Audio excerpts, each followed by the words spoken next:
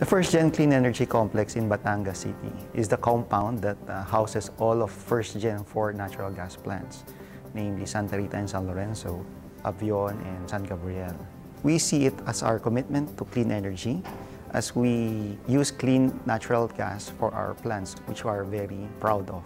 In 2017, our power plants helped avoid production of about 7 million tons of carbon dioxide. This is equivalent to removing about 1.5 million passenger vehicles or recycling 2.4 million tons of waste instead of landfilling it or around 181 million trees planted over 10 years. Natural gas is the cleanest of the so-called fossil fuels. Unlike other energy sources such as coal, natural gas emits about 60% less CO2, significant significantly less amount of SOx and NOx without byproducts such as ash, sludge, or particulate matter.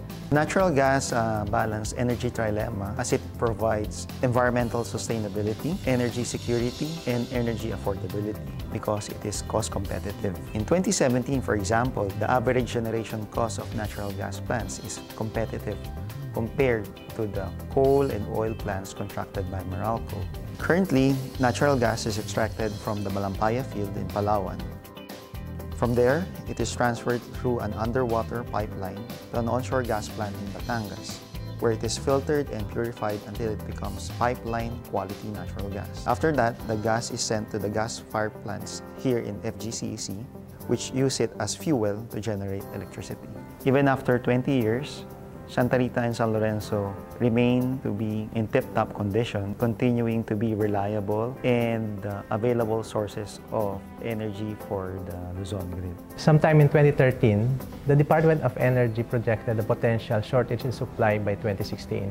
To address this issue, First Gen decided to pursue two new projects. These are San Gabriel and Avion.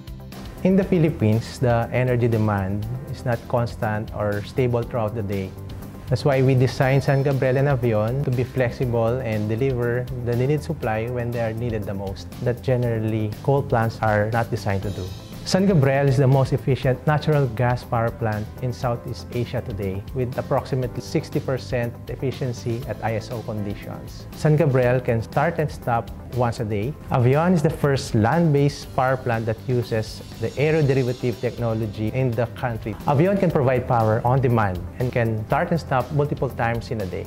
In 2017, the first Gen Clean Energy Complex delivered roughly about 12 billion kilowatt hours. This means that if an average household consumes about 200 kilowatt hours per month, we serve about 5 million households the whole complex is in the heart of its communities here in Batangas City. Because our operations are clean, the residents nearby have no problems with having the power plants in the vicinity of their hometowns, something that you won't experience with coal or oil plants that pollute their immediate environments.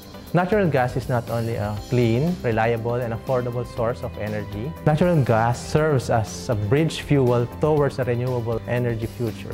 Renewable energy like wind and solar are intermittent. That's why we need a reliable energy source to provide support to the grid whenever the sun is down or the wind is not blowing.